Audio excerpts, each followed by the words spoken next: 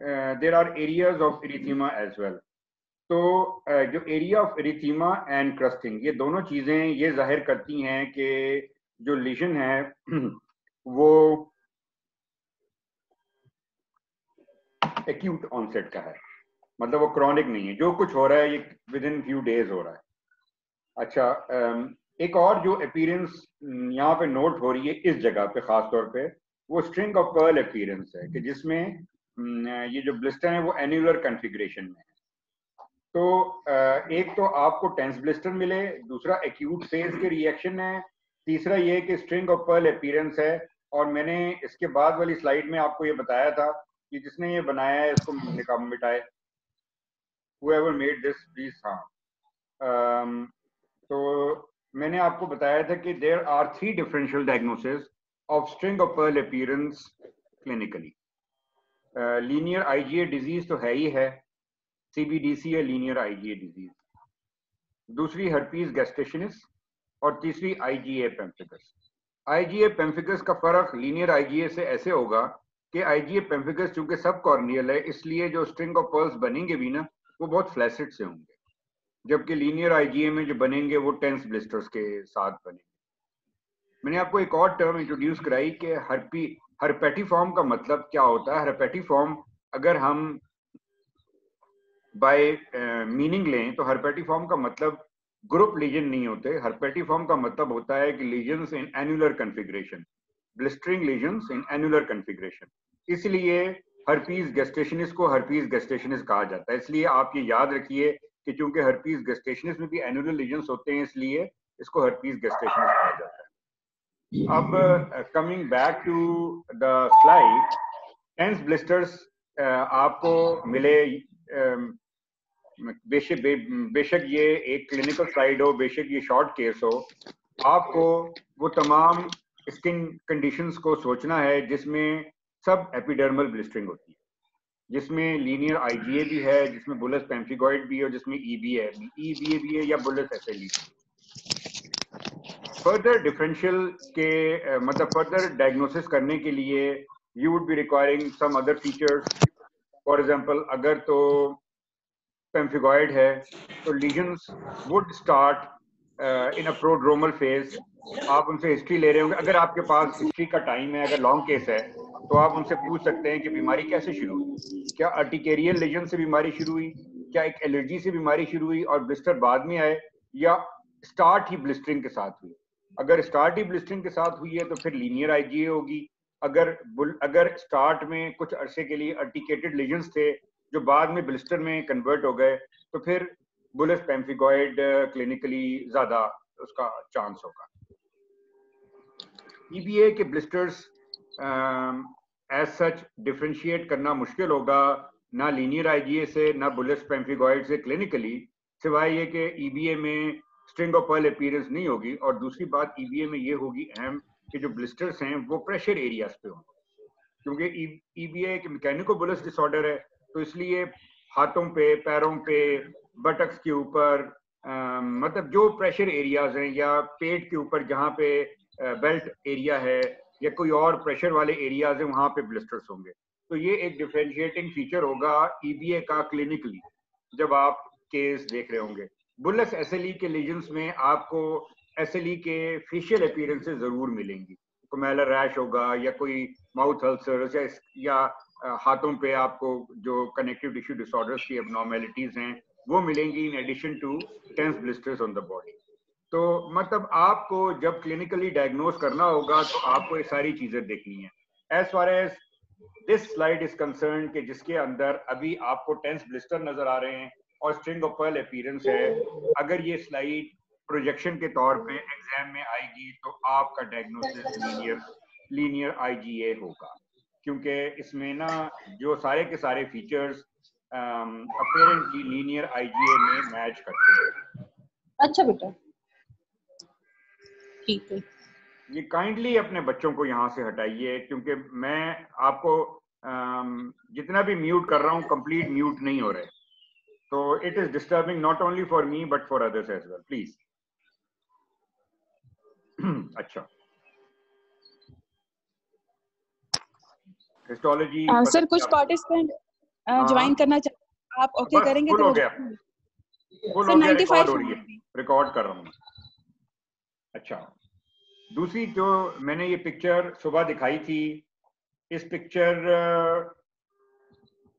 में जो चीज़ मतलब ए फीट की और लेग की पिक्चर है, एक यंग लड़की की, जो चीज़ सबसे ज़्यादा नज़र आ रही है, जो प्रोमिनेंटली चीज़ पता चल रही है, वो हाइपर कैराटोसिस और hyper pigmentation These are areas of hyperkeratosis and hyperpigmentation on dorsal surfaces of both feet extending to the legs. दूसरी चीज़ यहाँ पे जो नज़र आ रही है वो एक बैकग्राउंड इरिथीमा है, जो दोनों लेग्स में बड़े अच्छे तरीके से वाजे हो रहा है। तीसरी चीज़ जो यहाँ पे नज़र आ रही है वो ये छोटी छोटी इरोजन इरोजन का मतलब ये आपने लेना है कि यहाँ पे ब्लिस्टरिंग हुई है। किसी ना किसी फॉर्म में कि जिसको जब ब्लिस्टर्स उतरे हैं तो वो इरोजन्स हो गई। वो किसी भी फॉर्म की हो सकती है। तो यहाँ पे ये तीन फाइंडिंग्स ऐसी थी कि जो सुबह ट्रेनिज ने आइडेंटिफाई की। Hyper keratosis and hyper pigmentation erythema और इरोजन जो चौथी चीज़ थी जो मैंने आइडेंटिफाई करवाई वो ये थी कि ये जो हाइपर कैराटोसिस और हाइपर पिगमेंटेशन है this is along the skin creases यहाँ पे आप देखें गौर से, ये जो हाइपर कैराटोसिस और हाइपर पिगमेंटेशन है this is along the skin creases ये जो पैटर्न होता है हाइपर कैराटोसिस का अलोंग द स्किन क्रीजेस इसको रिपल्ड हाइपर कैराटोसिस कहा जाता है। रिपल्ड हाइपर कैराटोसिस और जब आपके आगे रिपल्ड हाइपर कैराटोसिस का लफ्ज आए तो diagnosis automatically epidermolytic hyper keratosis हो जाता है। रिपल्ड कैराटोडर्मा और शायद किसी और कंडीशन में नहीं होता। Hyperkeratosis along the skin creases plus एक बैकग्राउंड एरिथीमा है प्लस इरोजन है। तो ये बन गया जी कंजेनेटल बुलस एक्थाइसिफॉर्म एरिथ्रोडर्मा और और कंडीशंस की जिसमें एपिडर्मोलिटिक चेंजेस होती हैं। जो डिफरेंशियल्स हैं एपिडर्मोलिटिक हाइपर कैराटोसिस के, वो कंजेनेटल बुलस एक्थाइसिफॉर्म एरिथ्रोडर्मा है लीनियर वेरुकस एपिडर्मल नीवस है एपिडर्मोलिटिक कैराटोडर्मा है और एपिडर्मोलिटिक एक एंथोमा है। अच्छा इसके साथ मैंने आपको ये जो टर्म है एपिडर्मोलिटिक की, इसको एक्सप्लेन करने की कोशिश की। एपिडर्मोलिटिक एक यूनिक हिस्टोलॉजिकल अपीयरेंस है कि जिसमें एक यूनिक हिस्टोलॉजिकल अपीयरेंस है कि जिसके अंदर जो स्प्लिट है, ये वो at the level of stratum granulosum होती है। स्ट्रेटम ग्रेनुलोजम की स्प्लिट और किसी कंडीशन में नहीं होती एपिडर्मोलिटिक हाइपरकैरेटोसिस के अलावा। और जब एपिडर्मोलिटिक हाइपरकैरेटोसिस हिस्टोलॉजिकली नज़र आएगी तो it will be very much like subcorneal split और सब कॉर्नियल ब्लिस्टर फ़र्क सिर्फ़ ये होगा कि जो सब कॉर्नियल ब्लिस्टर है, जिन कंडीशन में सब कॉर्नियल ब्लिस्टरिंग होती है, जैसे कि आई जी ए पेम्फिगस जैसे कि पेम्फिगस वलगैरस इन कंडीशंस में स्टेटम ग्रेनुलोजम प्रिजर्व होती है और स्टेटम ग्रेनुलोजम नीचे जो एपिडर्मस है, उसमें आप उसको देख सकते हैं कि यहाँ पे स्टेटम ग्रेनुलोजम मौजूद है। स्प्लिट स्टेटम कॉर्नियम के नीचे है। स्टेटम ग्रेनुलोजम को इफ़ेक्ट नहीं कर रही। लेकिन epidermolytic hyperkeratosis epidermolytic keratoderma में चूँकि स्प्लिट स्टेटम ग्रेनुलोजम के अंदर होती है, इसलिए आप स्टेटम ग्रेनुलोजम को कहीं पे भी आइडेंटिफाई नहीं कर सकेंगे। इसलिए क्योंकि स्प्लिट ही स्टेटम ग्रेनुलोजम में तो नीचे स्टेटम स्पाइनोजम नज़र आ रही है, ऊपर स्टेटम कॉर्नियम नज़र आ रही है तो दरमियान में से स्टेटम ग्रेनुलोजम गायब होगी। ये चीज़ आपको एपिडर्मोलिटिक हाइपर कैराटोसिस या एपिडर्मोलिटिक फिनोमेना के बारे में आप लोगों ने याद रखना अब ये वाली जो स्लाइड है दिस इज़ न्यू और इस स्लाइड के लिए अब मैं आप लोगों से कहूँगा कि आप मुझे कोई एक trainee whoever wants to talk मेरे एमएच के ट्रेनीज नहीं होने चाहिए, क्योंकि उन्होंने ये स्लाइड कुछ दिन पहले ही देखी है। तो कोई भी trainee you can come forward and describe the disease describe the disease आप अनम्यूट कर सकते हैं अपने आप को। डिस्क्राइब करें इसको, कोई भी करें। अपने आप को आइडेंटिफाई करें और डिस्क्राइब करें। Sir, Dr. Maliha Javed from PNS Trifa Karachi. Um, there are multiple hyperpigmented and erythematous macular lesions along with excoriations um, in the flexural aspect of the right arm. And mm-hmm. uh, um, so I mean, it's covering the entire um, forearm and the upper arm as much can be seen. It's bilaterally symmetrical also. Maliha, these lesions macules हैं या papules हैं Sir, ये थोड़ी सी blur. Like I think maculopapular. I would like to call it then. नहीं अब आ, आ, ये तो मैंने आपसे सवाल पूछा है आपने इसके बारे में सोचना है क्योंकि macular macular hyper keratotic lesions और पेपुलर में बहुत डिफरेंस है डायग्नोसिस बदल जाते हैं देखो मैं आप लोगों को एक दफ़ा बेसिक में एक चीज़ याद कराऊं मैक्यूल या patch is just an alteration in skin colour जैसे कि मिलाजमा होता है जैसे कि विटलाइगो होता है जैसे कि इरिथीमा होता है। जब सिर्फ़ जो फाइंडिंग नज़र आ रही है वो ऑल्टरेशन इन स्किन कलर नज़र आ रही है तो वो या तो मैक्यूल है या वो पैच है। आपको यहाँ पे जो लीजन्स नज़र आ रहे हैं are they there they alteration in skin colour only No, so they're papular then. They're maculo slightly papular raised. कहना ठीक था क्योंकि कहीं कहीं पे फॉर एग्जांपल यहाँ पे पोस्ट इन्फ्लेमेटरी पिगमेंटेशन भी है। Hmm. तो अ, लेकिन इसमें मल्टीपल एरियाज़ ऐसे हैं कि जो अ, देखने से ही वो रेज लीजन्स नज़र आ रहे हैं। तो नंबर पहली बात कि this is a maculo papular rash on the volar aspect of both forearms और आपने क्या फीचर बताया इसका मलिया? Sir excoriation mark seen in the fibril fossa on the right arm could be excoriation कुछ और भी हो सकती है ये चीज़? सर क्रस्ट स्केलिंग है सर स्केली लीजंस ये लीजंस जो हैं जनाब ये ये जो वाइट वाइट एरिया नज़र आ रहे हैं ये स्केलिंग है. These are the scaly lesions. और ये क्या है? ये जो brown brown black black areas नज़र आ रहे हैं। What are they sir excoriated papules ये ये ये एरिया सर माइनर से ब्लीडिंग पॉइंट्स हैं। पर्पुरा पर्पुरा तो नहीं है। ब्लीडिंग तो sir they could they could be erosion Nita पर क्रस्टिंग हेमरेजिक क्रस्टिंग स्टिंग है सर क्रस्टिंग है ये क्रस्टिंग है। जी Crusting, crusting है.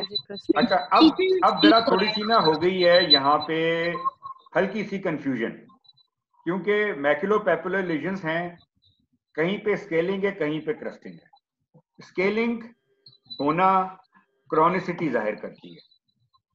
क्रस्टिंग होना एक्यूटनेस ज़ाहिर करती है।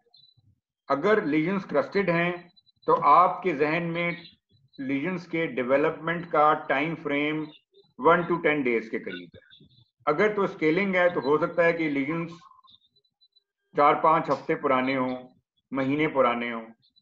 इसका मतलब ये है कि जो हम स्किन कंडीशन देख रहे हैं, उसके अंदर चंद लीजन्स ऐसे हैं कि जो एक्यूट हैं और चंद लीजन्स ऐसे हैं जो क्रॉनिक हैं। और जो लीजन्स हैं, वो हाइपर पिगमेंटेड मैक्यूलोपैप्यूल्स हैं। ठीक? यहाँ तक ठीक है? ठीक है। यस अच्छा। नाउ मलिया इसको एक दफ़ा डिस्क्राइब करो जिस तरह से मैंने आपको कहा। नाउ आप समझें कि आप शॉर्ट केस में एग्जामिनर को बता रही हैं कि क्या फाइंडिंग है। Sir there is a bilaterally symmetrical distribution of a maculopapular rash on the volar aspects of the arms There's uh, crusting and scaling seen in the right cubital fossa. And uh, there's mild pigmentary changes which involves hyperpigmentation uh, mostly. तो इस तरफ़ भी है crust भी So वो है I think right की तरह ज़्यादा picture में नज़र आ रही but yeah ठीक है there's scaling on both sides. अच्छा चलें ठीक है आप अ, मलिया का काम पूरा हो गया अब मुझे डिफरेंशियल डायग्नोसिस चाहिए एनीबॉडी कैन कंट्रीब्यूट पहले अपने आप को इंट्रोड्यूस कराएँ और फिर अपना अपना डायग्नोसिस बताएँ। व्हाट यू थिंक कि क्या हो सकता है? Uh, sir, uh, Rabia Nadeem from PNS Shifa Hospital. Sir, um, in the differential, can we keep pityriasis rosea? पिट्राइसिस रोजिया अच्छा। गुड डिफरेंशियल पिट्राइसिस रोजिया में अ, जो मैक्यूलो पैपुलर लीजन्स या पैपुलोस्क्यूमस लीजन्स पैपुलोस्क्यूमस लीजन्स के डिफरेंशियल डायग्नोसिस में पिट्राइसिस रोजिया ज़रूर आता है। Sir, uh, पर also एक- we can. एक Yes, मिनट में पीपी रोजिया की बात Sir, कर sir. लूँगा जी, हाँ पी रोजिया ज़रूर आता है। पी रोजिया में जो अपीयरेंस है ज़्यादा ज़्यादा पी रोजिया ट्रंक पे होता है और क्रिसमस ट्री पैटर्न होती है उसके अंदर और फोर आउंस भी हो सकता है। जो स्केल है पी रोजिया का वो किस तरह का होता है Rabia? Sir collarette scale collarette collarette का क्या मतलब है? सर कॉलरेट का मतलब ये होता है it is attached from the periphery but detached from the centre बिल्कुल. It is attached from the on the periphery ठीक है? यस सर एक minute. Sir, uh, papillus squamous may we can uh, I am Dr. Rooch Khan from uh, Gurki Trust Teaching Hospital, and uh, I would like to add uh, um, guttate psoriasis Yes. as a differential diagnosis. Guttate psoriasis बिल्कुल guttate psoriasis और देखिए जो Sir, papulosquamous can I add a differential? उसके differential में guttate psoriasis बिल्कुल आएगा syphilis. सिर्फ़ सिर्फ़ जो क्रस्ट है ये थोड़ा थोड़ा सा ना अनयूजुअल है गटेट सोरासिस के लिए पी रोजिया में क्रस्ट फिट हो सकता है अगर एटिपिकल हो गटेट सोरासिस के लिए थोड़ा सा एटिपिकल है लेकिन लेकिन क्रस्टिंग इतनी प्रोमिनेंट नहीं है लेकिन थोड़ी सी अनयूजुअल है लेकिन थोड़ा सा पी रोज के लिए गटेट सोरासिस के लिए अनयूजुअल है और. Sir, pleva and secondary syphilis. देखो पहले प्लीवा से पहले कहो Pityriasis like choroiditis chronica. पहले कहो PLC So PLC. Pityriasis lichenoides chronicus ये. तीन जो डिफरेंशियल्स है ना गटेट सोरासिस पी रोजिया और पीएलसी कहाँ से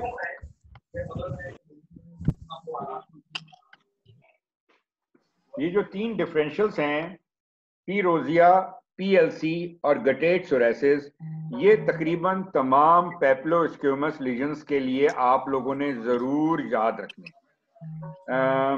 इसके अलावा secondary syphilis P secondary syphilis PLC sorry P rosea के डिफरेंशियल में आता ही आता है। अब अब सवाल पैदा होता है प्लीवा। प्लीवा के लीजन्स यहाँ पे नज़र आ रहे हैं? No No, sir. प्लीवा के लीजन्स कैसे होते हैं? necrotic.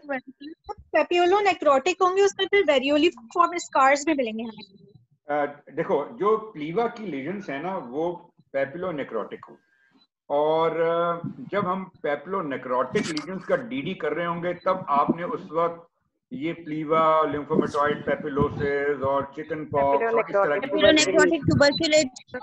पेपिलोनेक्रोटिक हाइड्रोआ वैक्सीनिफॉर्मी इस किस्म की डिजीजेस का सोचना है। लेकिन लेकिन जो पीएलसी होती है पीएलसी और प्लीवा एक डिज़ीज़ के दो डिफरेंट स्पेक्ट्रम एक एक स्पेक्ट्रम है जो एक्यूट है और एक स्पेक्ट्रम है जो क्रॉनिक है। अम, बहुत कॉमन है ये बात कि सॉरी बहुत कॉमन है ये बात कि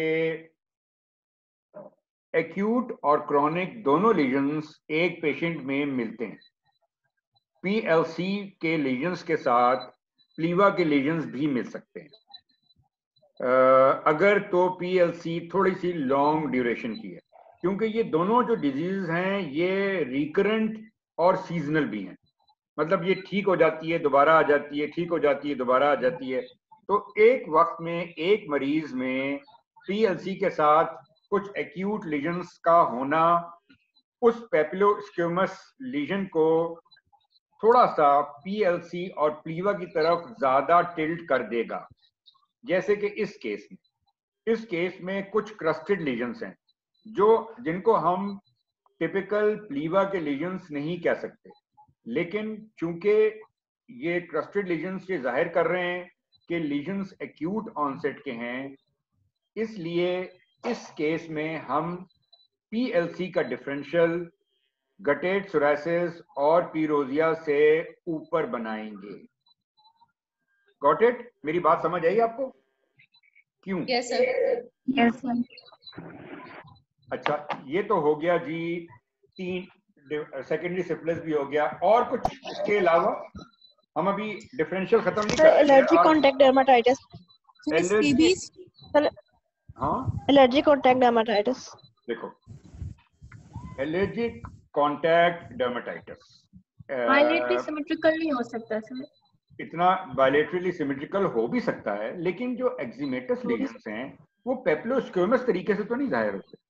मतलब वो लीजन्स आमतौर पे प्लाक्स होंगे एरिथीमेटस प्लाक्स स्केली प्लाक्स लेकिन पेप्लोस्क्योमस लीजन्स छोटे पेप्यूल्स उसके ऊपर scale in allergic contact dermatitis ये कोई अनयूजुअल सी प्रेजेंटेशन है। इस तरह का हम्म? Atopic chronic dermatitis. GVHD हो सकता है। एटॉपिक डर्मेटाइटिस भी देखो डर्मेटाइटिस है ना हम एक्जिमेटस लीजन्स जब हम कहते हैं ना कि द लीजन्स आर एक्जिमेटस कि द लीजन्स है आर एक्जिमेटस तो एक्जिमेटस का मतलब तो ये है कि the lesions have irregular scaly border and the lesions are mainly in a form of plaques scaly Okay, मैं ये कह रहा हूँ पेपिलोस्क्योमस लीजन मतलब छोटे papules. PRP? PRP would be psoriasiform with follicular prominence. जब मैं आप PRP का डिफरेंशियल करेंगे तो आप सोरेसिफॉर्म या एरिथ्रोडर्मिक लीजन्स का डिफरेंशियल करेंगे। आ, उसमें प्लानस भी- रख सकते हैं क्या क्या लाइकन प्लानस भी रख सकते हैं। लाइकन प्लानस लाइकन प्लानस की पॉसिबिलिटी हो सकती है क्योंकि बहुत सारे लीजन्स वायलेशियस कलर के. हाँ? हो सकता है? अच्छा, एक मिनट, एक मिनट, लेट लाइकन फिनिश बहुत सारे लीजन्स वायलेशियस कलर के हैं। लेकिन लाइकन प्लानस वाले पेप्यूल्स नहीं। दूसरा लाइकन प्लानस के जो विकम स्ट्राए हैं वो इतना ज़्यादा प्रोमिनेंट अब आप यहाँ पे देखें ना इस स्केलिंग को ये ऐसा लग रहा है कि जैसे कि जो स्केल है ना वो उतर रहा है। आपको पता है विकम स्ट्राया बेसिकली स्केल नहीं है? What is Wickham striae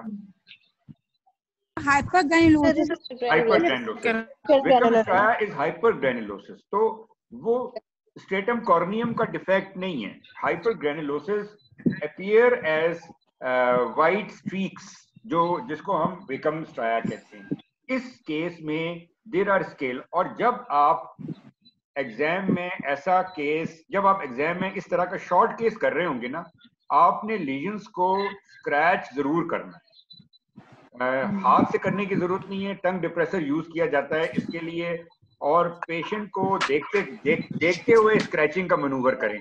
कि पेशेंट को तकलीफ़ नहीं होनी चाहिए होगी तो नंबर कटेंगे। तो आप जब स्केल निकालेंगे तो आपको अंदाज़ा होगा कि ये स्केल किस किस्म का था। लेकिन अगर आप कलर वाइज देखें तो हम इसको लाइकन प्लानस को कंसिडर कर सकते हैं। अगर ये स्केलिंग ना होती तो LP could have been good differential diagnosis और सर क्रॉनिक जीवीएचडी हो सकता है उसमें भी मल्टीपल मैनिफेस्टेशंस होती हैं स्किन की। देखो chronic graft versus host disease जो है ना इसकी अपीयरेंस ज़्यादातर स्क्लीरोडर्मा टाइप जो acute graft versus host disease है वो लाइकिनॉइड हो सकती है। तो अगर आप अगर आप ग्राउड वर्सेस होस्ट डिज़ीज़ का ही कहना है तो फिर एक्यूट कहोगे। Chronic okay sir thank you ठीक है अच्छा, अब और और कुछ? Sarcoidosis. Sarcoidosis. नहीं नहीं सार्केडोसिस वाली कोई बात नहीं है। देखो सार्केडोसिस एक ग्रेनुलोमेटस डिसऑर्डर है। इसमें आपको papules nodules plaques skin coloured मिलेंगे। स्केलिंग का दूर दूर तक कोई काम नहीं है सार्केडोसिस में। Scabies Folliculotropic MF. हाँ अच्छा अच्छा एक मिनट स्केबीज कर लूँ। स्केबीज इंटेंसली प्रोरेटिक डिसऑर्डर है। स्केलिंग होने का टाइम ही नहीं देती स्केबीज अनलेस के क्रस्टेड स्केबीज है। Crusted scabies would look like erythroderma crusted scabies के लिए ये इतना डिफ्यूज नहीं है, लेकिन जो नॉर्मल स्केबीज है, वहाँ पे क्रस्ट वहाँ पे स्केली लीजन्स नहीं है। वहाँ पे क्रस्टेड लीजन हो सकते हैं इन्फेक्टेड लीजन हो सकते हैं एक्सकोरिएशन हो सकती हैं। लेकिन इस तरह की स्केलिंग नहीं होगी पेप्लोस्क्रोमस अब आ गया एमएफ एमएफ की कौन सी variety. Folliculotropic Very follicular lesions थोड़े लग रहे हैं. अच्छा जो बच्चा बच्चा पार्टी जो है ना उसको जरा प्लीज़ म्यूट करें। खुद अपने आप को म्यूट करें वो जिनके बच्चे हैं। Folliculotropic MF folliculotropic MF number एक इतना डिफ्यूज नहीं होगा। नंबर टू उन एरियाज़ में ज़्यादा होगा जहाँ पे फॉलिकल ज़्यादा प्रोमिनेंट होते हैं, जैसे कि face and scalp and neck and chest number two lesions pulpy से फॉलिकल्स होंगे और लीजन इंड्यूरेटेड और थिक कंसिस्टेंसी का लीजन होगा, जिसके अंदर से आपको कोई चीजी सी ऊजिंग भी नज़र आएगी। तो फॉलिकुलोट्रोपिक एमएफ पेपिलोस्क्योमस की डीडी में नहीं आएगा फॉलिकुलर इंड्यूरेटेड प्लास की डीडी में ज़रूर आएगा। सर फॉलिकुलर एक्जिमा हो सकता है ये फॉलिकुलर एक्जिमा हो सकता है एक वैरायटी है एक्जिमा की जिसमें फॉलिकुलर एक्जिमा होता है अलोंग द फॉलिकल्स और फॉलिकुलर सोरेसिस भी होता है वैसे। तो फॉलिकुलर एक्जिमा हो सकता है। अच्छा पता नहीं क्यों मैं एक बीमारी मेरे जहन में फंसी हुई है वो आप लोग पहुँच नहीं पा रहे। जरा और सोचें आप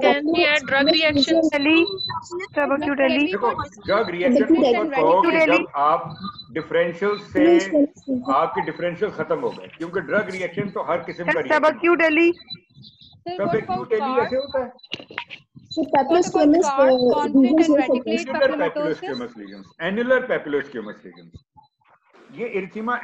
डीडी में आएगा। Sir what about card Sir, and disease. reticulate papillomatosis? confluent and reticulate papillomatosis. Scaling नहीं और uh, um, बहरहाल उन इन पेप्यूल्स का जो कन्फ्लुएंट एंड रेटिकुलेट पेपिलोमेटोसिस है को खास को बहुत बड़ा पैटर्न नहीं होता। जिस तरह से uh, इसके नाम में है कि कुछ रेटिकुलेट पैटर्न होगा कुछ uh, आपस में कन्फ्लुएंट भी होंगे ट्रंक पे होंगे और आपको पता है कि ये फंगल इन्फेक्शन है तो इसमें वो डिस्ट्रीब्यूशन होगी जो आमतौर पे पी वर्सिकुलर की डिस्ट्रीब्यूशन होगी। Sir Darier disease Darier disease Darier disease का आपको सोचना चाहिए डेरियर डिज़ीज़ में dirty dirty brown papules scaly papules होंगे।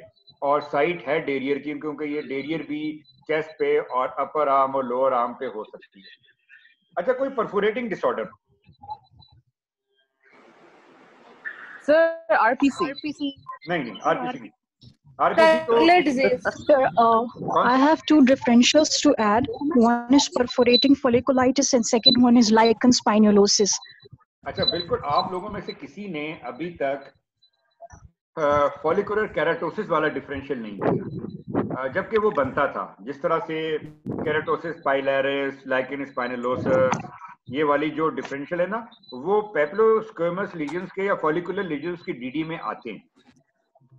लेकिन यहाँ पे चूँकि स्केलिंग बहुत ज़्यादा है तो थोड़ा सा चांस कम है, लेकिन आपको ये कैरेटोसिस पाइलेरिस और लाइकिन स्पाइनलोजा को सोचना चाहिए। बस आप लोगों ने कहा परफोरेटिंग फॉलिकुलाइटिस परफोरेटिंग फॉलिकुलाइटिस में रिएक्टिव परफोरेटिंग कोलेजिनोसिस की तरह के लीजन्स फॉलिकुलर फॉलिकल्स के ऊपर पाए गए। छोटे lesions follicular lesions with central crater अभी हमने थोड़ी देर पहले ना हमने डिस्कस किया पेपिलोनेक्रोटिक लीजन्स की डीडी जो जिसमें ये था, प्लीवा और लिम्फोमेटॉइड पेपिलोसिस उसमें आरपीसी को भी डालना है। क्योंकि आरपीसी भी बिल्कुल उस किस्म की अपीयरेंस देती है कि जैसे पेप्लो नेक्रोटिक टीबी और ये वो जितने लीजन्स है ना। Perforating folliculitis is mini reactive perforating collagenosis miniature RPC छोटे आरपीसी के लीजन्स फॉलिकुलर लीजन्स एक और बीमारी है जिसको कहते हैं फ्लेजिल्स डिज़ीज़ मुझे लगा किसी ने बोला था यहाँ पे।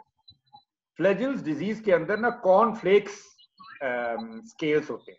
जैसे कॉर्नफ्लेक्स के ना जरा स्केल्स नॉट प्लेन थोड़े से ना वेवी से। तो ये फ्लेजिल्स डिज़ीज़ का भी डिफरेंशियल डायग्नोसिस सोचना चाहिए। सर आर्सेनिकल केराटोसिस डिफरेंशियल में रख सकते हैं? आर्सेनिकल केराटोसिस आप ये जहन में रखें कि ट्रंक के ऊपर आर्सेनिकल केराटोसिस मतलब आर्सेनिक पॉइजनिंग ट्रंक पे हाइपर डिस्क्रोमियास और पोइक्लोडर्मेटस लुक देती है। जो केराटो जो जो जो फॉलिकुलर केराटोसिस या पंक्टेड केराटोडर्मा है, वो पाम एंड सोल्स पे होता है। अगर आपने आर्सेनिकल पॉइजनिंग में ट्रंक देखनी है तो वहाँ पे आपको डिस्क्रोमिया मिलेगा। रादर देन पंक्टेड केराटोसिस ये जो फाइंडिंग है पंक्टेड केराटोसिस की, ये आर्सेनिकल केराटोसिस में पाम एंड सोल्स है हमने ना एक काफ़ी मुनासिब सा डिफरेंशियल डायग्नोसिस कर लिया इस केस का। और अब देखिए मैंने इसमें क्या लिखा हुआ है।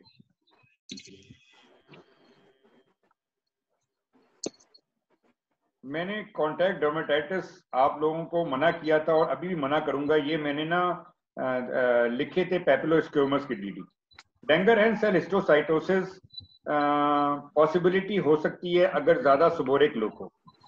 Keratosis pilaris lichen planus P rosea PLC guttate psoriasis seborrhoeic dermatitis tinea versicolor की पॉसिबिलिटी नहीं। तो हमने जो इस इस डिफरेंशियल में जो एक पेप्लोस्क्यूमस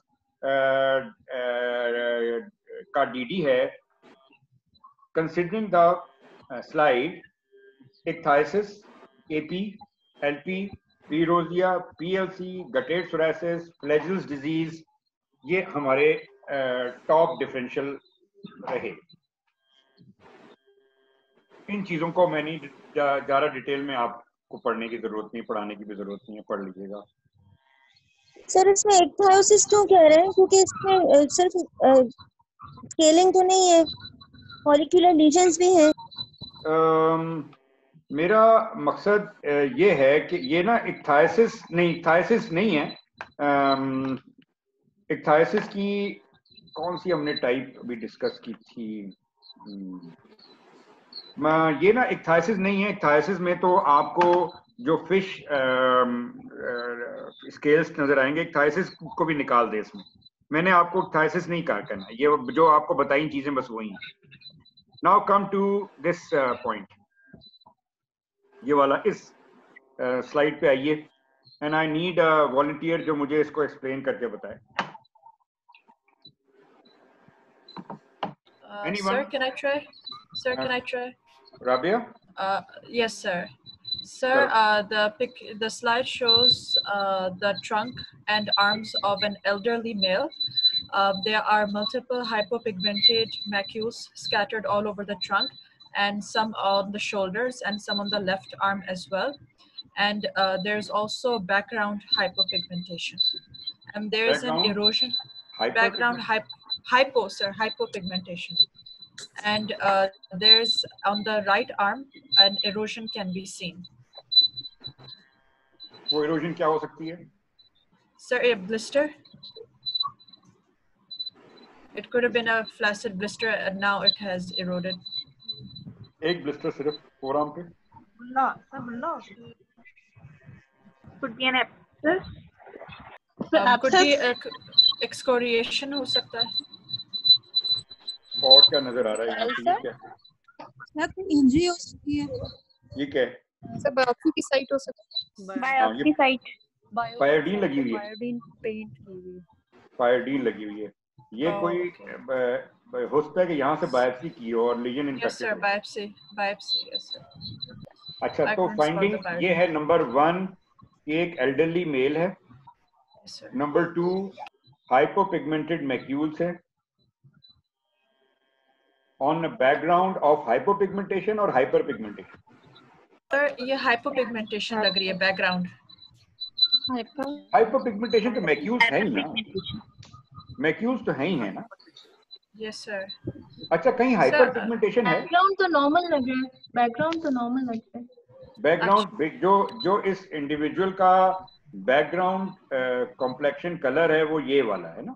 तो अच्छा सॉरी सर मैं वो पायोडीन को मैं वो पायोडीन को आइडेंटिफाई नहीं कर पाई थी इसलिए मुझे हाइपोपिगमेंटेड लग रहा था। अच्छा अब देखो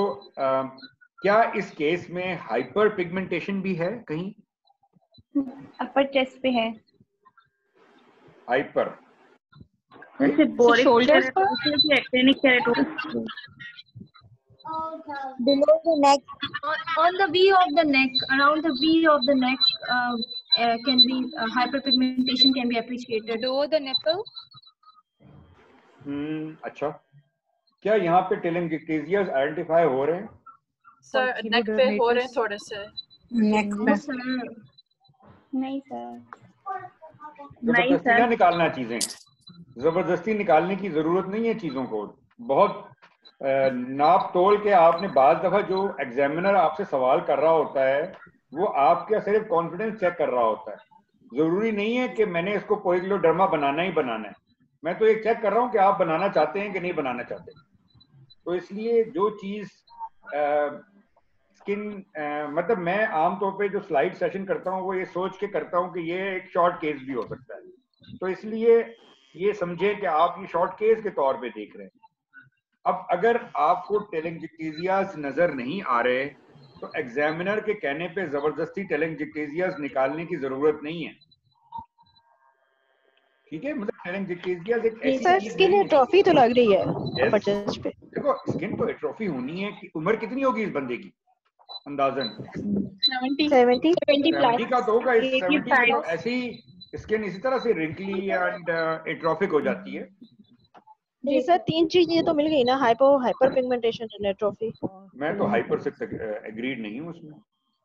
Yes, sir. This is a normal color of the face. Hypopigmentation on the background. Sir मैं अपर मैं- आर्म एंड अपर चेस्ट लेकिन लेकिन मैं आप लोगों से डिसएग्री भी नहीं करूँगा। अगर आप लोग हाइपो एंड हाइपर बना रहे हैं फिर आप मुझे एक्सप्लेन भी करके बताएँगे कि हाइपो एंड हाइपर पिगमेंटेशन को दोनों को मिला के क्या बनाना है पोइक्लोडर्मा नहीं है। वो सॉरी टेलेंजिक्टेजियाज नहीं है पोइक्लोडर्मा नहीं वही किलोडर्माइट तो सर कह सकते हैं ट्रॉफी भी है हाइपो हाइपर पिगमेंटेशन नहीं है। हाँ एक और बात भी वैसे मैं आपको बताऊँ कि जहाँ आम तौर पे अगर मरीज़ का कलर डार्क हो मरीज़ पिगमेंटेड हो थोड़ा सा डार्क कॉम्प्लेक्शन का हो तो उसमें टेलेंजिक्टेजियाज का मिलना मुश्किल हो Kindly mute कर दें. Kindly mute कर दें, please.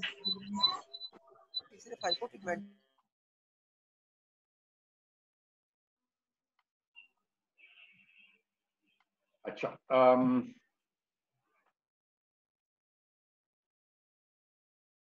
आपको अच्छा हाइपर पिगमेंटेशन और hypopigmentation skin atrophy minus telangiectasia इस अपीयरेंस को जो अपीयरेंस पूरी पोइक्लोडर्मा नहीं होगी वो पोइक्लोडर्मोइड कहलाएगी। इस तरह से जो चीज़ जो चीज़ और भी इस तरह की हम टर्मिनोलॉजी यूज़ करते हैं कि जिस तरह ज़ीरो डर्मा पिगमेंटोजा है पूरा सारे फीचर ज़ीरो डर्मा के नहीं मिलेंगे और तो हम उसको ना ज़ीरो डर्मोइड कहेंगे।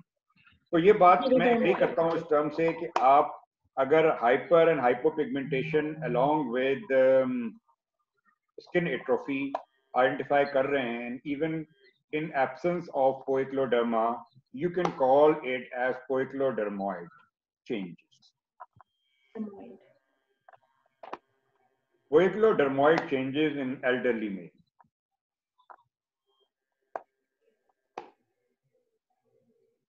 क्या होगा. Sir, MF. MF, graft versus host disease, chronic. chronic sun exposure. Sir, MF. MF, MF, तो चलो MF. कोइक्लोडर्मेटस MF हो गया हाइपोपिगमेंटेड MF हो गया एमएफ की तो वैरायटियाँ हो ही गई दोनों। MF कहेंगे कि हाई इसको हाइपोपिगमेंटेड MF कहेंगे। hypopigmented ज़्यादा. अगर हम इसको पोइक्लोडर्मा आपने जस्टिफाई कर लिया अपने आप को मतलब कहने का ये है कि आपने हाइपो के साथ हाइपर पिगमेंटेड मैक्यूल जो मुझे इतने महसूस नहीं हो रहे लेकिन अगर आपने hypo and hyper pigmentation along with atrophy और telangiectasias आइडेंटिफाई कर लिए तो poikilodermatous MF would be a very good diagnosis क्योंकि इस एज में पोइक्लोडर्मा का होना और किसी कंडीशन में मुमकिन नहीं है। जितने पोइक्लोडर्मेटस सिंड्रोम्स हैं वो या तो कंजेनेटल नौयत के हैं जो शुरू में अर्ली एज में ज़ाहिर हो जाते हैं। इस एज में पोइक्लोडर्मेटस चेंजेस के साथ जो कंडीशन आएगी वो यूजुअली एमएफ ही। अगर हम अगर आप ये जस्टिफाई नहीं कर पाए कि यहाँ पे हाइपोपिगमेंटेड मैक्यूल्स के साथ हाइपर पिगमेंटेशन भी है। सिर्फ़ हाइपोपिगमेंटेशन है देन डिफरेंशियल डायग्नोसिस थोड़े से मुख्तलिफ़ होंगे। अगर हम सिर्फ़ हाइपोपिगमेंटेशन आइडेंटिफाई कर रहे हैं कि डिफ्यूज मैक्यूलर हाइपोपिगमेंटेशन है इन एन एल्डरली बेशक बेशक Idiopathic Elderly. guttate hypomelanosis. Idiopathic guttate hypo और क्या idiopathic hypomelanosis. Idiopathic guttate hypomelanosis और Leprosy. P, um, uh, PLC also heals with guttate hypomelanosis and crops. PLC क्यों कह रहे हो आप पोस्ट इन्फ्लेमेटरी क्यों नहीं कह रहे Post inflammatory कहेंगे. मतलब चाहे पीएलसी हो चाहे. गटेट सोरासिस हो अच्छा ये ल्यूकोडर्मा की जो टर्म है ना ये तो खैर एक बहुत ही लेमन टर्मिनोलॉजी है जो इन्फ्लेमेटरी डर्माटोसिस के नतीजे में जो स्किन का कलर लाइट कलर आएगा वो हाइपोपिगमेंटेशन कहलाएगा डीपिगमेंटेशन नहीं होगा। तो हम पोस्ट इन्फ्लेमेटरी हाइपोपिगमेंटेशन कहते हैं idiopathic guttate hypomel progressive symmetrical hypomelanosis भी एक मेरा ख्याल है कंडीशन कि जिसमें ना इस तरह के हाइपोपिगमेंटेड मैक्यूल्स बॉडी पे आ सकते हैं दोनों बिनाइन नेचर के। और क्या हो सकता है? सर पी वर्सिकुलर नहीं हो पी सकता? वर्सिकुलर हो सकता है। पी वर्सिकुलर हो सकता है। एक बात आपको एग्ज़ाम में हो सकता है कि पी वर्सिकुलर किसी और क्लिनिकल फाइंडिंग के साथ एक एडिशनल फाइंडिंग हो। मुझे याद है कि एक दफ़ा एक शॉर्ट केस में जो शायद किसी ब्लिस्टिंग डिसऑर्डर का केस था उसमें उस पेशेंट को स्केबीज भी थी। कैंडिडेट बहुत अच्छा था, उसने बहुत अच्छा एग्जामिनेशन किया, बहुत अच्छा ये मैं, ये मैंने नहीं, मैं एग्जामिनर नहीं था एग्जामिनर कोई और था, ये मुझे बाद में पता चला। अच्छा उसने बहुत अच्छा एग्जामिनेशन किया, बहुत अच्छा उसको केस का डायग्नोसिस किया, लेकिन उसने स्केबीज मिस कर दी जिसके बरोज भी मौजूद थे और उस कैंडिडेट को फेल कर दिया गया। तो इसलिए ये जहन में रखना है कि बाज दफ़ा ये जो छोटी छोटी माइनर चीज़ें होती है ना स्केबीज पी वर्सिकुलर वॉट्स ये चीज़ें ना मेन डिज़ीज़ के साथ पाई जाती हैं। मिस नहीं करनी ये चीज़ें। जब हम लॉन्ग केस कर रहे होते हैं तो हम ये एक्सपेक्ट करते हैं कि आपने, आपको बहुत अच्छा ऑब्जर्वेंट होना चाहिए। आपने मिस कोई नहीं करनी फाइंडिंग चाहे उसका उसका ताल्लुक मेन डायग्नोसिस से हो या ना हो। तो मैं पासिंग के तौर पे ये बात इसलिए कही कि पी वर्सिकुलर अक्सर यंग एज के लोगों को पी वर्सिकुलर पाई जाती है। जबकि ये तो सोचना ही फजूल है कि आपको हम लॉन्ग केस पी वर्सिकुलर का दे देंगे। तो ज़ाहिर है वो एक चांस फाइंडिंग होगी उस लॉन्ग केस में। तो पी वर्सिकुलर का अगर आपको कोई शक होगा तो आप इसको फॉर एग्ज़ाम्पल ये पी वर्सिकुलर हम सोच रहे हैं वुड स्लैम तो आपके पास है नहीं। क्या करेंगे कि जिससे पी वर्सिकुलर को थोड़ा सा डायग्नोसिस में मदद मिले? सर स्क्रैच करेंगे तो स्केलिंग उसकी प्रोमिनेंट स्केलिंग प्रोमिनेंट यही एक तरीका है पी वर्सिकुलर को डेमोन्स्ट्रेट करने का। तो मेरा ख्याल है हमने यहाँ पे इस स्लाइड में पहली चीज़ जो आइडेंटिफाई की वो ये अगर तो ये हाइपो एंड हाइपर पिगमेंटेशन है with skin atrophy in this age even अगर टेलेंजिटेजियाज नहीं भी नज़र आते आप इसको बड़े कॉन्फिडेंस के साथ कोइक्लोडर्मेटस एमएफ कह सकते हैं। अगर ये लॉन्ग केस होगा तो उसके बाद आपने एक डिटेल्ड लिम्फ नोड का और विसरा का एग्जामिनेशन करना है, ताकि आप कोई और क्लू उसमें शामिल कर सकें। वेट लॉस का पूछेंगे, भूख का पूछेंगे, बाकी चीज़ों का पूछेंगे। अगर आप हाइपर पिगमेंटेशन को आइडेंटिफाई नहीं कर सके और सिर्फ़ हाइपोमेलनोसिस ही है पूरे की पूरी बॉडी पे तो भी आप हाइपोपिगमेंटेड एमएफ का सोच सकते हैं।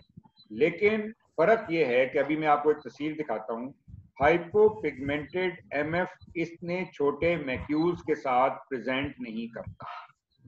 हाइपोपिगमेंटेशन बड़े बड़े एक किसी ने मुझे लेप्रेसी भी कहा। लेप्रेसी हो सकता है? सर हो सकता है। नहीं सर लेप्रेसी के लीजन्स किस तरह के होते हैं? नहीं सर नहीं सर ज़रूरी नहीं है। तरह के हो सकता है। नहीं सर ये बहुत स्मॉल सर ये बहुत सर सर हाइपोपिगमेंटेड मैक्यूल जो है वो ट्यूबरकुलॉइड फॉर्म में आते हैं और ट्यूबरकुलॉइड में लेस देन टेन लीजन्स होते हैं। इतने ज़्यादा नहीं होते। इतने ज़्यादा नहीं होते। और हाइपोपिगमेंटेड नहीं हाँ. देखो जो लेप्रोमेटस लेप्रोसी है उसके लीजन्स पेप्यूल्स भी हैं उसके लीजन नोड्यूलर होते हैं। नोड्यूल्स भी हैं उसके लीजन्स डिफ्यूज थिकनिंग भी है और मैकुलर लीजन्स भी पॉसिबिलिटी हो सकती है लेकिन सिर्फ़ एक तरह बहुत एक्सटेंसिव है।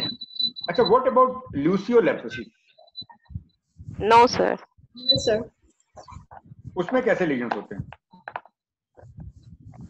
सर इसमें स्क्लेरोडर्मोइड उसमें स्किन एट्रोफी टाइप होती है और स्किन एट्रोफी के साथ ना हाइपो एंड हाइपर पिगमेंटेशन हो सकती है, लेकिन Lucio phenomena Lucio leprosy Pakistan में नहीं लेकिन ये ना लेप्रोमेटस लेप्रेसी का ख्याल करना बहुत ही ज़्यादा मतलब रिस्क में डालने वाली बात है अपने आप। सेफ़ प्ले में ना सेफ़ प्ले में एमएफ के साथ सेफ़ प्ले होगा, और पोस्ट इंफ्लेमेटरी हाइपोपिगमेंटेशन के साथ सेफ़ प्ले होगा। और फिर ये जो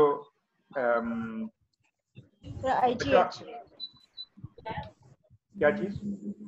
इडियोपैथिक हाइपोमेलेनिस हाँ इडियोपैथिक जो हाइपोपिगमेंटेड एमएफ है ना वो इस किस्म के ना जरा बड़े बड़े हाइपोपिगमेंटेड पैचेस होते हैं।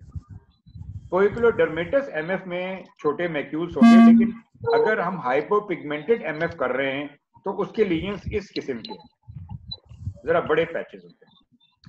हाइपोपिगमेंटेड एमएफ जो है ना, वो जरा पेशेंट भी जरा यंगर होते हैं।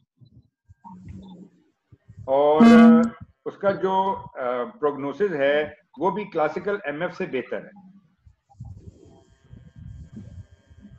Progressive macular hypomelanosis progressive macular hypomelanosis young women और इसमें अगर तो ये लीजन जो इस बाबे को थे ये लीजन्स हम एक यंग लड़की में कर दें, जिस तरह से ये लीजन्स हैं।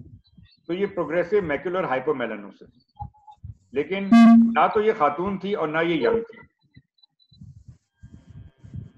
पी एल्बा ये जहन में रखिएगा कि पी एल्बा बॉडी पे भी हो सकता है। बच्चों में अगर आपको हाइपोपिगमेंटेड लीजन्स मिलेंगे ट्रंक पे तो पी एल्बा कहा जा सकता है? टॉप ऑफ़ द लाइन नहीं कहिएगा, बाद में कहिएगा। और इडियोपैथिक गटेड हाइपरमेलानोसिस के बारे में ये है कि वैसे तो ये एक्सट्रीमिटीज पे हो सकता है लेकिन ट्रंक पे भी आ सकते हैं इडियोपैथिक गटेड हाइपरमेलोनोसिस के लीजन तो जी ये आज की आखिरी स्लाइड आ, कौन मुझे बताएगा डिस्क्राइब करेगा इसको? कौन डिस्क्राइब करेगा? सर मैं डिस्क्राइब करूँ कौन सर मैं रबिया नदीम नहीं नहीं रबिया बहुत हो गया रबिया ठीक है sir okay sir Sir, may I describe? I am Dr. Varda from JPFC.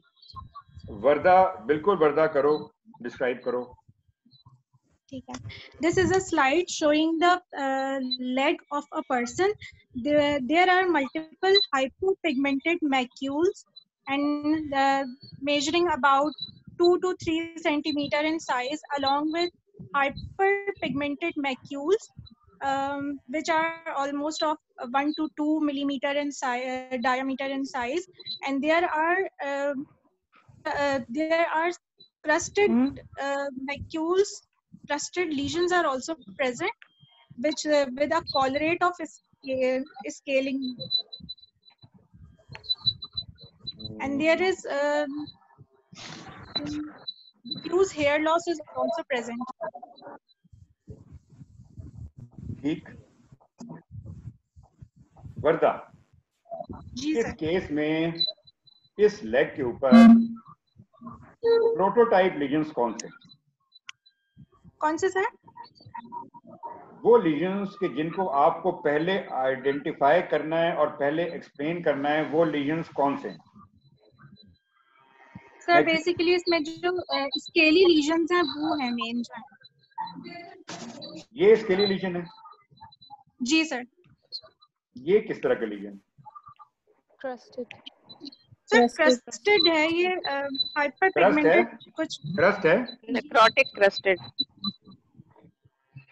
Necrotic lesion ये थोड़ा सा डार्क सा लीजन है। Central keratin deposit yes sir perforation है सेंटर में। तो रेटिंग बोल सकते हैं? ये क्या था भाई वर्दा? सर नेक्रोटिक नहीं स्कार स्कारिंग स्कारिंग ये ये वर्दा बोल रही है. उरूज बोल रही है? कौन बोल रहा है? मैं बोल रही सर एट्रोफिक स्कार मैंने कहा था। ये तो बताया नहीं गया। ना ये बताया गया ना ये बताया गया ना ये बताया गया। ये तो बड़ी इंपॉर्टेंट फाइंडिंग थी। इस फाइंडिंग की क्या रेलेवेंस है? लीजन हील विद स्कार इस एट्रोफिक स्कारिंग की क्या रेलेवेंस है? With scars. Hmm? The lesion healed with scars. Healing with scars. Chronicity. Relevance ये है। Chronicity, these- Chronicity. Relevance is chronicity क्योंकि लीजन्स आर क्रॉनिक जब भी तो यस सर स्कारिंग हो रही है। अच्छा स्कारिंग हो रही है तो ज़्यादा मैक्यूलर लीजन्स में तो स्कारिंग नहीं होती ना? मतलब ये कोई डिज़ीज़. आप ऐसी डील कर रहे हैं कि जिसमें hypo and hyper pigmented macules बन रहे हैं तो वो तो स्कारिंग नहीं करेगी ना? वर्दा? जी सर सर हो सकते हैं। सर नहीं मैक्यूलर तुमने जो हाइपर पिगमेंटेड लीजन्स आइडेंटिफाई किए वो भी स्कार थे वो भी एट्रोफिक स्कार थे हाइपर पिगमेंटेड एट्रोफिक स्कारिंग यहाँ पे स्किन कलर्ड हैं यहाँ पे हाइपर पिगमेंटेड है। गौर से देखो ये वाले एरियाज़ भी स्किन से अंदर की तरफ़ धंसे हुए हैं। Depressed. मतलब ये भी ये भी एट्रोफी है ये एट्रोफिक स्कार्स हैं ये भी। हाइपर पिगमेंटेड एक दो तीन ये भी एट्रोफिक स्कार्स हैं। ये भी एट्रोफिक स्कार्स हैं लेकिन ये हाइपर पिगमेंटेड नहीं है ये स्किन कलर के अंदर है। ये जो लीजन्स हैं एक दो तीन चार, यहाँ पे भी एट्रोफिक स्कार है। ये नेक्रोटिक सेंटर के लिए, जिनको आप पेपलो नेक्रोटिक कह सकते ये जनाब जो आपको, आपने जो सबसे पहली चीज़ डिस्क्राइब की, वो ये हाइपोपिगमेंटेशन डिस्क्राइब जो डेफिनेटली पोस्ट इंफ्लेमेटरी है। आप लोगों को, सबको मेरी तरफ़ से ये खास इंस्ट्रक्शन है कि जब आप शॉर्ट केस लॉन्ग केस जब भी आपने डिस्क्राइब करना शुरू करने लीजन्स सबसे पहली जो बात शुरू करें, वो सबसे सिग्निफिकेंट लीजन से शुरू करें। जिस लीजन के बेसिस पे आप डायग्नोसिस बना रहे हैं। आप डायग्नोसिस पोस्ट इन्फ्लेमेटरी हाइपोपिगमेंटेशन या एट्रोफिक स्कार के ऊपर नहीं बनाएँगे। आप डायग्नोसिस पेपिलो नेक्रोटिक लीजन्स के ऊपर बनाएँगे। तो, तो जब आपने बात शुरू करनी है तो पेप्लो नेक्रोटिक लीजन्स के ए, से ही बात शुरू करनी ये बात एग्ज़ाम में बहुत माने रखती है कि कुछ एग्जामिनर्स या वैसे तो उसूली तौर पे हर एग्जामिनर को जो पेशेंट जो आप लोग बात शुरू करते हैं उसमें से एक एक चीज़ को नोट करना चाहिए। कि आपने कैसे स्टार्ट किया कैसे हिस्ट्री शुरू की कैसे आपने लीजेंस को डिस्क्राइब करना शुरू किया?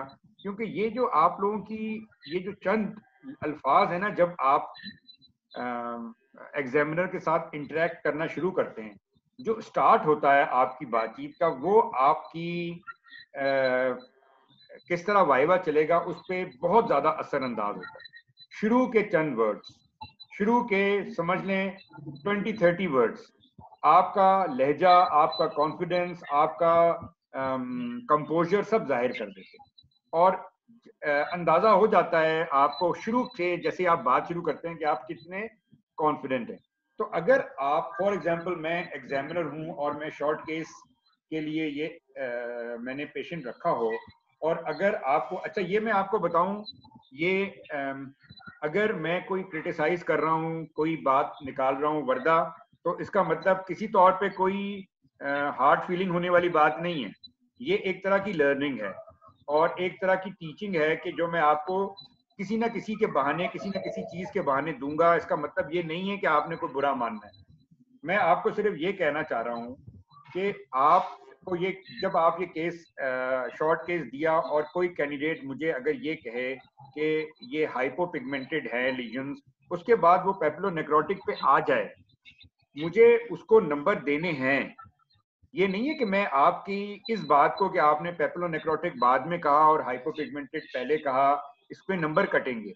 लेकिन एक ये ज़रूर है कि थोड़ा सा इम्प्रेशन आपका जरा हल्का हो जाता है कि ये कैंडिडेट ने जो इम्पोर्टेंट फाइंडिंग थी उस फाइंडिंग को बाद में बताया और जो सेकेंडरी फाइंडिंग्स थी वो पहले आइडेंटिफाई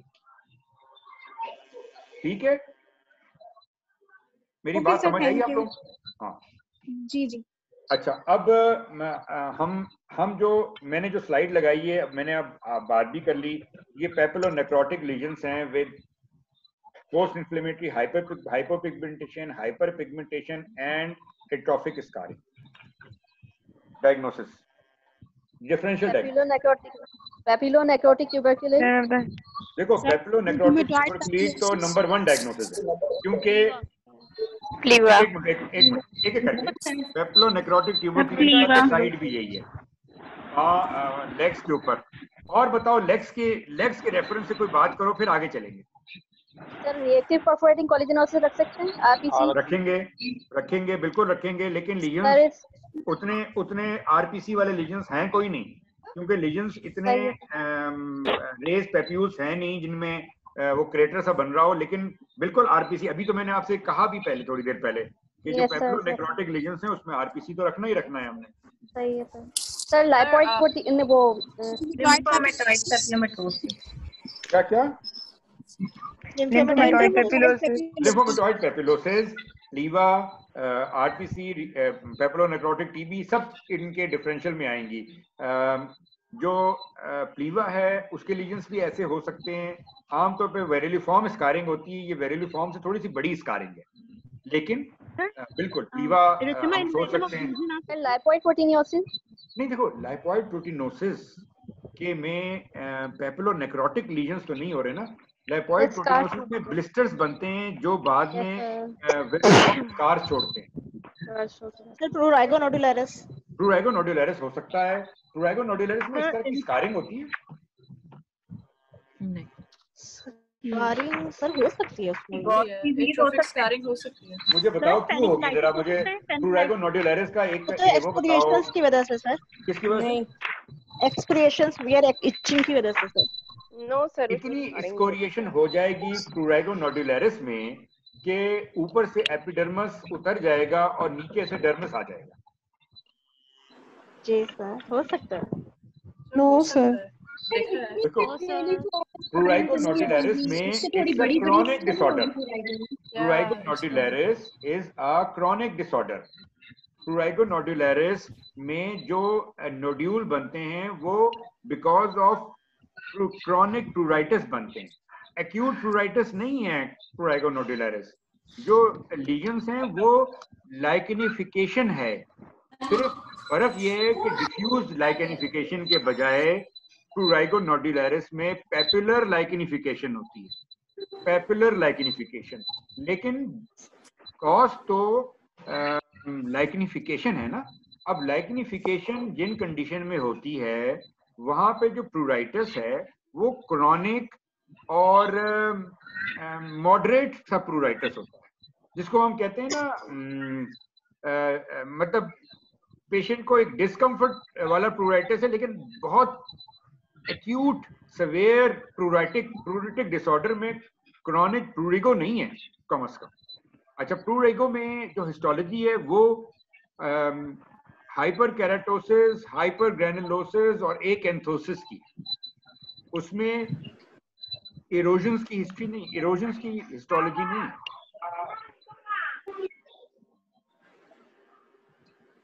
आ, और क्या हो सकता है? Sir Degos disease sir Degos disease Degos disease में कैसी स्कारिंग होती है? Sir porcelain like porcelain like porcelain white scarring किस जगह पे है? Porcelain ivory white yes erythema induratum of Basin. hydrovaccine erythema induratum. Erythema induratum of Basin. क्योंकि ये साइड भी जरा लेग्स है कोई काव्स हैं। इर्थीमा इंड्यूरेटम के lesions papulonecrotic panniculitis type lesions PAN type lesions बनते हैं। अगरचे ये वाले लीजन्स बहुत एक्टिव इर्थीमा इंड्यूरेटम ज़ाहिर नहीं कर रहे, लेकिन पेप्लोनेक्रोटिक ट्यूबोक्लोसिस के साथ इर्थीमा इंड्यूरेटम को ज़रूर शामिल करें। किसी ने मुझे कहा नेक्रोबायसिस लिपोइडिका किसी ने कहा था ना? नहीं सर। नहीं कहा था? हाइड्रोवैक्सीन नहीं नहीं नो सर। नहीं सर लाइपोइड प्रोटीन अच्छा वापस। अच्छा बासनो हाइड्रोवैक्सीन फॉर्मिंग कहाँ पे होता है और किनको होता है? मुँह पे होता है और बच्चों के होता है। इतना तो ना करो ना कि अगर सिर्फ़ स्कार नज़र आ रहा है तो सिर्फ़ स्कार के लिए आप ऐसा डायग्नोसिस दो कि जिस डायग्नोसिस पे एग्जामिनर ये कहे कि आपको तो हाइड्रोआ वैक्सीनी फॉर्मिस का भी नहीं पता। सर चिकन पॉक्स इसमें हम यूज़ कर सकते हैं? चिकन पॉक्स सर वेस्कुलेटिस रख सकते हैं? रख सकते हैं जरा चिकन पॉक्स की। ये ये स्कारिंग मैंने आपको पहले भी कहा ये वेरिली फॉर्म स्कारिंग नहीं है। ये चिकन पॉक्स स्कारिंग नहीं है ये उससे बड़ी स्कारिंग है। ये वेरिली फॉर्म स्कारिंग नहीं है। सर कोई वेस्कुलाइटिस रख सकते हैं? देखो पॉलीआर्ट्राइटिस नोडोजा पॉलीआर्ट्राइटिस नोडोजा जो है ना वो काफ़ी एक अ, मतलब acute it's an acute condition it's not a chronic condition PAN is an acute condition PAN would present as erythematous nodules जिसके अंदर अल्सरेशन भी होगी जिसके अंदर ऊजिंग भी होगी उसमें हेमरेजेस भी होंगे उसमें क्रस्टिंग भी होगी। और सबसे बड़ी बात it's an acute phenomena what we are seeing here is a chronic phenomenon. Chronic indolent disease long term पुरसकून मरीज़ को बहुत ज़्यादा बॉदरिंग नहीं कर रहा मरीज़ को ये हम्म? सर इसके बीज रख सकते हैं नहीं नहीं। इसके बीच के कोई लीजन्स नहीं है यहाँ पे अ, ना कोई उस तरह के पेप्यूल्स हैं ना कोई एक्सपोरिएशंस हैं ना कोई अम, ये डिफरेंशियल है, जिसमें से हमने ना कुछ चीज़ें माइनस भी करनी हमने इन सब चीज़ों को डिस्कस किया थोड़ा थोड़ा करके। मैंने सब एक्यूट प्रूराइगो क्रॉनिक प्रूराइगो नहीं लिखा है सब एक्यूट प्रूराइगो लिखा है, लेकिन इवन सब एक्यूट प्रूराइगो भी थोड़ा सा चूँकि सब एक्यूट है, हमें इस कंडीशन में कोई एक्यूटनेस का साइन नहीं मिला। ना तो इसमें क्रस्टिंग थी, ना इसमें ऊजिंग थी, ना इसमें एक्सकोरिएशन थी। तो हम एक्यूट और सब एक्यूट को निकाल रहे हैं पेप्लोनेक्रोटिक टीबी राइट और एर्थीमा इंड्यूरेटम नंबर टू और नंबर थ्री प्लीवा और लिम्फोमेटॉइड पेपिलोसिस पॉलीआर्ट्राइटिस आपने कहा, मैंने इसमें लिखा हुआ था पॉलीआर्ट्राइटिस का, लेकिन मैंने आपको बताया कि पॉलीआर्ट्राइटिस नोडोजा भी एक एक्यूट डिज़ीज़ है, जिसमें खास किस्म के साइन एंड सिम्टम्स होते हैं।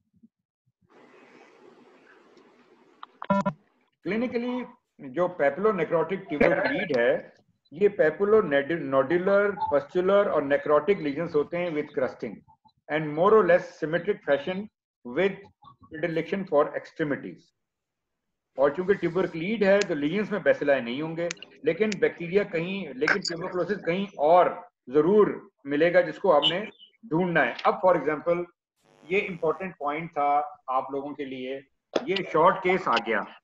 आपने आइडेंटिफाई कर लिया कि ये पेपिलो नेक्रोटिक टीबी है।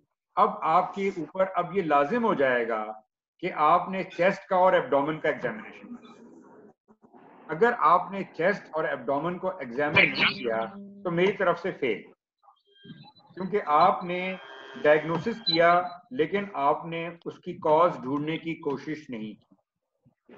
आप पेप्लोनेक्रोटिक ट्यूबरक्लीड को देख के आपने एपिकल एपिक्स का एग्जामिनेशन चेस्ट का एग्जामिनेशन डिटेल में। एब्डोमेन का फॉर विस्रोमिगैली और थोड़ा डीप पेल्पेशन करें। कुछ लिम्फ नोड्स आइडेंटिफाई हो सकते हैं। सर लिम्फ नोड्स भी?